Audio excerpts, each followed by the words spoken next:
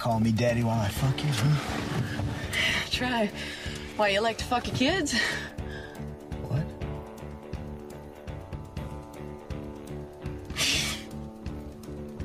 Shit, man.